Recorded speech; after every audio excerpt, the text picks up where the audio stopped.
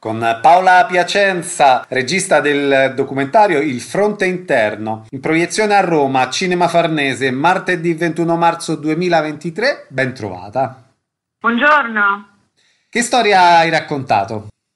Il fronte interno che ha anche un sottotitolo, forse un, semplicemente un titolo più lungo, che suona Un viaggio in Italia con Domenico Quirico. Questo è un viaggio in Italia insieme all'inviato di guerra della stampa con cui avevo già girato un film. La genesi di questo viene proprio dal film precedente che si intitolava Ombre dal fondo e che cominciava nel racconto del rapporto tra l'inviato e la sua professione. Però partiva in questo racconto all'inizio all'indomani della sua liberazione dalla prigionia in Siria e di conseguenza poi essendo stato un viaggio, questo quasi tutto all'interno di una stanza, nel senso che era stato un dialogo tra di noi su questo, poi ci ha portato anche fuori e ci ha portato tra l'altro in Siria a ritrovare un luogo tra i molti in cui era stato tenuto prigioniero e poi sul fronte del Donbass, ma nel 2015 parliamo dell'inizio di quello che stiamo vivendo adesso. Ecco, quel film era andato bene, era passato Venezia e Insomma, ci hanno incoraggiato a farne un altro, ci hanno chiesto di che cosa vorreste occuparvi. E abbiamo pensato che volevamo occuparci intanto del nostro paese, soprattutto perché Domenico lo ha battuto meno rispetto a tutti i fronti di guerra e a tutti i luoghi dove si sono verificate crisi umanitarie nel corso degli anni. E poi perché ci interessava provare a raccontare una questione ed eravamo prima della pandemia che secondo noi era importante e bruciante, la questione della povertà. L'idea era quella di trovare dei fronti interni, dei luoghi eh, nel nostro paese dove i nostri concittadini vivessero queste situazioni di difficoltà e di provare a raccontarle non tanto in termini statistici, perché alla fine quando si parla di povertà forse anche per pudore si fanno soprattutto numeri, ma attraverso incontri e attraverso un tentativo di entrare in relazione con queste persone. E questo è stato questo viaggio, alla fine è stato un viaggio in quattro luoghi, Milano, Aosta, Torino e Palermo, quattro città con i loro dintorni e con eh, istituzioni che all'interno delle città operano e anche con eh, persone che hanno accettato di raccontare la loro storia. Come lo hai strutturato il documentario?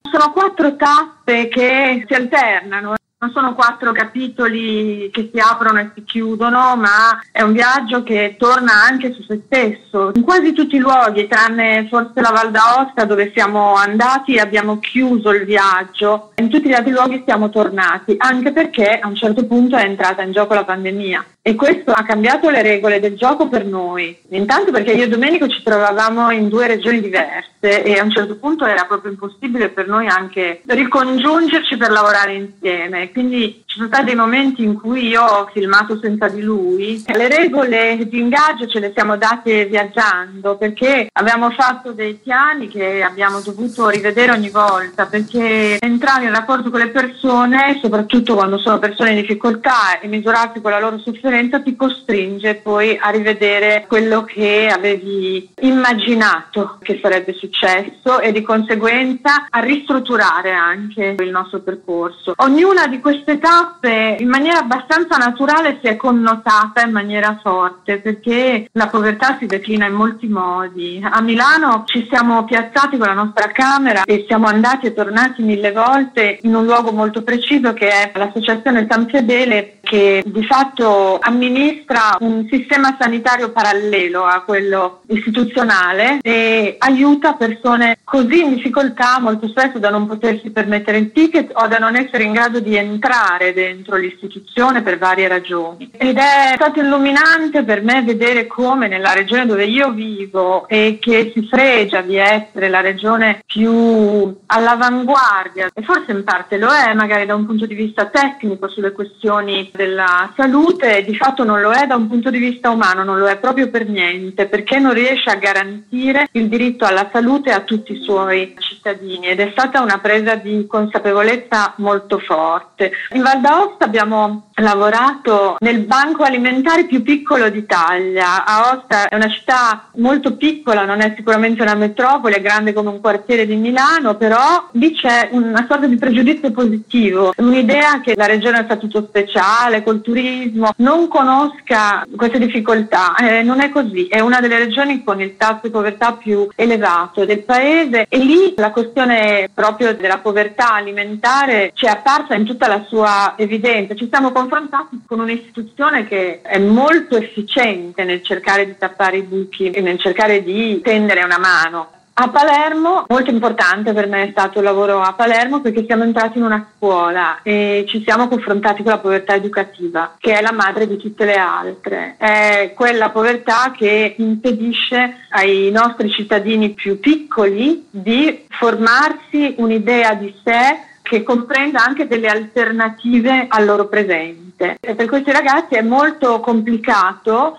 nonostante il lavoro molto duro e anche molto efficiente che fa la macchina scolastica, noi siamo entrati in una classe dove c'erano dei professori commoventi per dedizione, dove c'era una preside molto dedicata al proprio lavoro, molto prepotentemente dedita a cercare di fare tutto il possibile per fornire delle alternative di sguardo a questi ragazzi, però è molto complicato. Infine a Torino Abbiamo lavorato con i volontari della comunità di Sant'Egidio che soprattutto durante la pandemia ma anche prima e comunque continuano a farlo anche adesso all'interno di un campo che era stato stabilito per l'emergenza freddo portavano ogni sera il necessario per sfamare le persone che riuscivano ad entrare quindi insieme la questione abitativa e la questione alimentare in questo caso. Che scelte distributive avete fatto? Il documentario è prodotto dalla Frenesi Film di Luca Guadagnino, che aveva prodotto anche il precedente, ed è coprodotto da Rai Cinema.